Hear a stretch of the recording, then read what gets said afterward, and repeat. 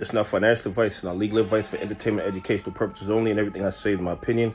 Please don't make any financial decision based on anything I say in these videos. That being said, hit the like button, subscribe button, all that YouTube algorithm stuff so you get the videos I put them out, see them things here, man, analyzing that data. Listen, Apple is having major problems with their factories in China. But the factory in particular is the factory that's producing the iPhone 14s. And the thing is, because of these problems, and a lot of these problems have to do with, with, with the COVID restrictions. Plus, there was some kind of protest at the factory. And they, well, what we would call scabs. They brought in scabs to do the work. And they were supposed to pay the scabs to work. And then the scabs didn't get paid, so they refused to work.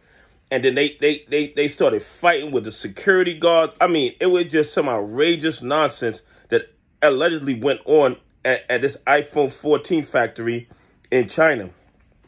But how that really affects us as, as AMC investors is that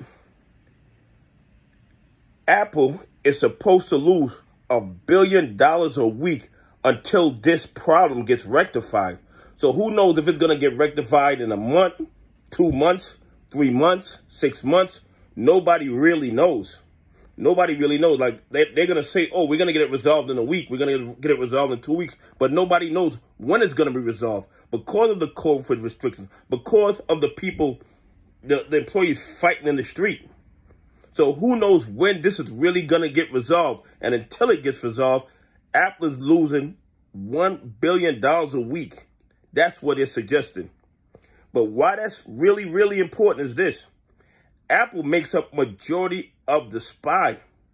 So if Apple is dropping, you best believe the SPY is going to drop too. And then you got all these guys, all these hedges, all these bad actors who are long on Apple, who are long on the SPY. So when Apple and the SPY starts dropping, you know what happens. Margin calls, forced liquidations, and then they'll be forced to start covering their shorts. And when they're forced to start covering their shorts, AMC, GME starts going to the moon.